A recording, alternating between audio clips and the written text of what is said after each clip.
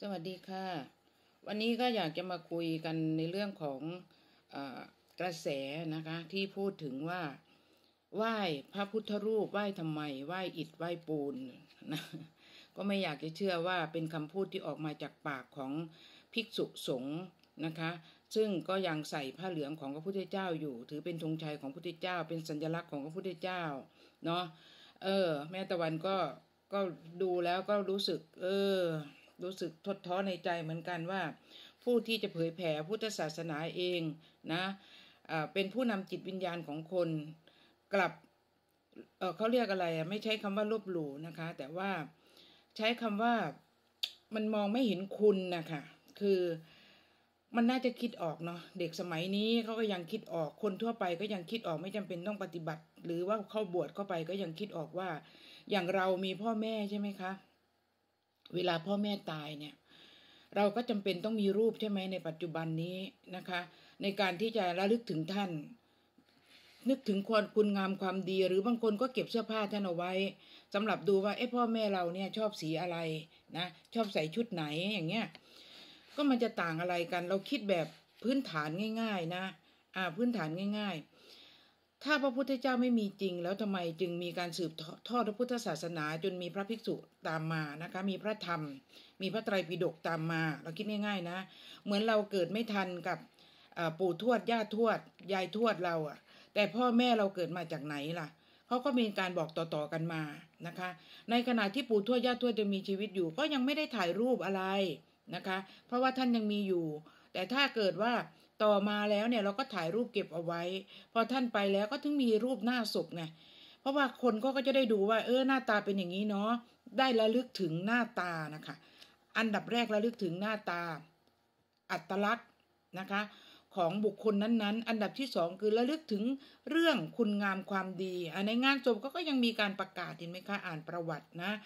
อันนี้แม่ตะวันใช้ภาษาง่าย ๆ ชาวบ้านชาวบ้านนะคะ ให้คิดแบบชาวบ้านนะคิดแบบง่าย ๆ เป็นตักกะง่ายๆนะเราฟังเขาแล้วให้เรามีมีมันสมองมีสติปัญญาในการคิดอ่านนะคะ ทีนี้ เขาก็บอกต่อเหมือนกันกันในเรื่องของพระพุทธเจ้าเหมือนกัน ก็มีการบอกต่อสืบทอดกันมาในสมัยก่อนเนี่ยทำไมจึงไม่มีพระพุทธรูปก็เพราะว่า พระพุทธองค์ก็ยังทรงมีชีวิตอยู่นะคะ ก็เลยยังไม่ต้องมีการปั้นไม่ต้องมีทำอะไรทั้งนั้นนะเออแต่ในสมัยนั้นนะในสมัยนั้นเนี่ยก็ยังมีคำว่าพุทธนิมิตนะพระพุทธนิมิตเป็นการเนรมิตขึ้นนะคะ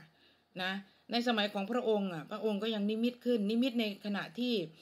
พระองค์เทศนะนะคะเทศพวกปาฏิหาริย์ต่าง ๆนะคะเขาเรียกว่า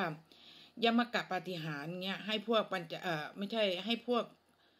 อักคีฟังอะก็ยังต้องมีท่าเดินท่านอนท่านั่งทำต่างๆ แสดงอิทธิฤทธิ์ให้ดูค่ะ เป็นปาฏิหาริย์คือเอเหมือนกับแยกร่างอะไรประมาณอย่างนั้นนะคะ เป็นอนุภาพนะคะ เออ พุทธนิมิตอย่างเงี้ย แล้วก็ถ้าจะพูดถึงนะ มันก็มีมากมายนะคะ มันมีขึ้นแม้กระทั่งไม้แก่นจันเนี่ยสร้างขึ้นในยุคไหน แต่ว่าเราเอาง่าย ๆ ก่อนตอนนี้เอาง่าย ๆ ว่าทำไมต้องสร้างก่อนนะคะ สาเหตุที่สร้างเนี่ย ก็เพราะว่าระลึกของพระองค์ระลึกถึงพระองค์นะคะระลึกถึงพระองค์ระลึกถึงคุณงามความดีระลึกถึงพระธรรมที่พระองค์สั่งสอนระลึกถึงเรื่องราวประวัติของพระองค์ ในสมัยนี้ใครสร้างตึกอะไรไว้เขาก็ยังเอาชื่อไปแปะ ใครสร้างโรงพยาบาลเขาก็ยังเอารูปไปแปะใช่ไหมคะ เพราะนั้นพระพุทธเจ้าเนี่ยพระองค์ดับขันไปตั้ง 2,600 ปีเนี่ยถ้าไม่มีตัวแทนไว้เลยเนี่ยนะแล้วเราจะระลึกถึงพระองค์ยังไงล่ะนะคะซึ่งที่จริงแล้วเนี่ยมันก็มีที่มาว่า พระพุทธรูปที่เขาสร้างแล้วเนี่ยได้รูปลักษณะ คุณลักษณะมายังไง เดี๋ยวแม่ตะวันจะเล่าต่อไป จะบอกต่อไปว่า ไม่ใช่ว่ามาแบบโผล่มาตามช่องตามหลืบอะไรไม่ใช่ มันก็มีที่มาและที่ไปนะคะ แต่ว่าคนที่พูดเนี่ยแม่ตะวันอยากจะพูดว่า คนที่พูดเนี่ยเป็นพระที่มีชื่อเสียงทั้งนั้นเลยนะ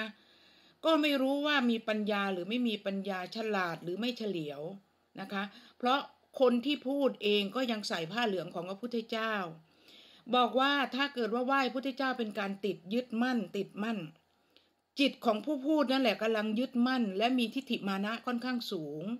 นะ ผู้ที่เขาไม่ยึดเนี่ยเขาจะรู้เองว่าเขาไม่ยึดเขาวางได้แค่ไหน ปฏิบัติไปวางได้แค่ไหน แล้วก็การนับถือนี่เขานับถือกันเพื่ออะไรอ่านะคะ อย่างน้อยๆเขายึดพระพุทธรูปก็ดีกว่าไปยึดต้นไม้ ภูเขาเลากาใช่ไหมไปขูดต้นไม้ขูดหินขูดหลัก เพราะว่าพระพุทธรูปนี่ก็ยังเป็นตัวแทนองค์พระสัมมาสัมพุทธเจ้า ให้ระลึกถึงคุณงามความดีของพระองค์ใช่ไหมต้นไม้เอ่ยต้นตะเคียนเอ่ยต้นอะไรเอ่ยที่เขาไปขูดอะ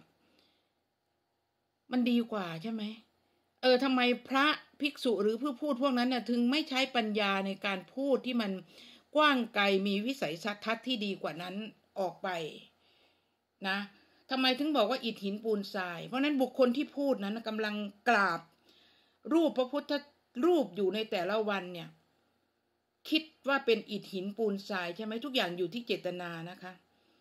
เพราะนั้นจิตของท่านพุ่งไปที่ไหนนะคะ พุ่งไปที่ไหนแล้วก็คนที่พูดนี่นะคะ ทั้งๆทที่ใส่ธงชัยของพระองค์อยู่นะ อยากให้เขามาไหว้ท่าน แต่ว่าท่านลบหลู่ครูบาอาจารย์ของท่านเองนะอยากให้เขามาไหว้พระเป็นๆนะไหว้พระเป็นๆแล้วพระเป็นๆเนี่ยนะ ยังสามารถแก้ต่างตัวเองได้ใช่ไหมว่าเป็นอย่างงู้นเป็นอย่างนี้สร้างภาพได้อย่างงู้นอย่างนี้ แต่พระพุทธเจ้านี่ไม่จำเป็นต้องสร้างภาพ เพราะพระธรรมของพระองค์เนี่ยบอกไว้แล้วนะคะ จนมีการบันทึกเอาไว้ว่าเป็นยังไงบ้างนะ เพราะนั้นพระเป็นๆเนี่ย ยังมองพระพุทธเจ้าเป็นแบบนั้น แล้วนับภาษาอะไรที่จะไปสอนให้คนธรรมดานะมองพระพุทธเจ้าไปอีกแบบหนึ่งเออเราเองยังดูถูกยังข้ามเนี่ยนะ แล้วคำสอนของพระองค์จะศักดิ์สิทธิ์ได้ยังไง แสดงว่าบุคคลที่บอกนั้นคือตั้งลัทธิใหม่ขึ้นมาเหรออืมไม่มีความอ่อนน้อมถ่อมตน ไม่มีความระลึกถึงคุณ แล้วยังจะให้เขาระลึกถึงตัวเองในขณะนั้นๆน่ะ เป็นๆเนี่ย เกิดหลังพระพุทธเจ้าตั้งสองพันหกร้อยกว่าปีแล้ว ลองศึกออกมาแล้วใส่ชุดธรรมดาแล้วลองพูดดูซิเขาจะกราบไหว้ไหม เขาจะเชื่อไหม แต่ที่เขาเชื่ออย่าลืมว่ามันยังเป็นอานิสงส์ของผ้าเหลืองอยู่ เป็นอานิสงส์ของศีล ถ้าพูดอย่างนี้ไม่รู้ศีลมันเป็นยังไงนะ ครบไหม หลังพร้อยไหม บกพร่องไหม ขาดไหม เบื้องหลังเราจะรู้ได้ยังไง ใช่ไหมคะ เพราะนั้นปัญญาเนี่ยที่จะต้องมาสืบทอดพระพุทธศาสนาในการที่บอกกล่าวกันออกไปเนี่ย ผู้ที่ฟังผู้ที่เสพก็ต้องพิจารณานะคะว่า ปัญญาของผู้ที่กำลังถ่ายทอดสิ่งเหล่านี้มันสามารถที่จะรับได้ไหมนะบอกอิฐหินปูนทรายถ้างั้นอิฐหินปูนทรายที่เขาสั่งมาเทบ้านก็ไหว้กันไปสิ นี่เขายังเลือกอยู่ เพราะเขาถือว่าเป็นสื่อแทน องค์พระสัมมาสัมพุทธเจ้านะส่วนตัวของพวกท่านเองเนี่ยจะเป็นผู้นำสารก็คือพระธรรมของพระพุทธเจ้าในการเผยแผ่เนี่ย แต่บิดเบี้ยวเองอะ่ะ ผิดเพี้ยนเองอะ่ะ เพื่อที่จะยกตนขึ้นมาสูงกว่า คนที่ให้ธรรมะตั้งแต่ครั้งแรกเนี่ย มันก็ผิดเป้าหมายแล้วนะนะคะ ผิดเป้าหมายแล้วนะ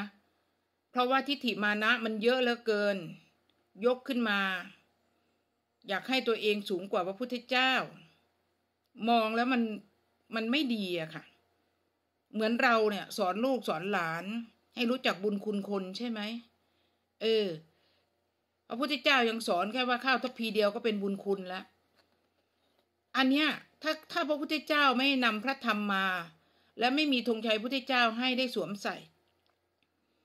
จะได้มานั่งพูดแบบนี้ไหม เราต้องคิดนะคะ อันนี้แม่ตะวันฝากไว้ก่อนคลิปแรก เดี๋ยวคลิปต่อไปจะบอกว่าทำไมถึงมีพุทธนิมิตทำไมถึงมีพุทธฉายทำไมถึงมีพระพุทธรูปเกิดขึ้น นะ เดี๋ยวนี้มันไปตามกระแสซะมากอยู่คำว่ากระแสอย่าลืมนะคะ มันไหลนะ คนดังไปนับถือใครเข้า พระองค์นั้นก็ดัง นะ พระจริง ๆ ท่านไม่ได้ดังเพราะคนดังนะคะ ท่านดังของท่านเองเป็นอมตะของท่านเอง นะแม่ตะวันก็เพิ่งไปเททองหลวงปู่มั่นเนี่ยทำไมต้องเท เพราะคนรุ่นหลังไม่ได้เจอหลวงปู่มั่นเป็นเป็นจุดศูนย์รวมจิตใจ ดึงให้เป็นตามคันลองคอนธรรมให้มีเขาหลักยึดก่อนอันดับแรก ส่วนเขาจะเข้าใจในธรรมต่อไปนั้นก็ว่างเอง ไม่จำเป็นต้องไปบอกหรอก คนที่พูดละวางให้ได้ซะก่อน คนที่พูดน่ะนะคิดเล็กคิดน้อยเกินไปหรือเปล่าสักกายทิฏฐิ super ego เกินไปหรือเปล่า คนฟังฟังให้ดีนะคะ พิจารณาด้วยค่ะ แม่ตะวันฝากไว้นะ คลิปหน้าเจอกัน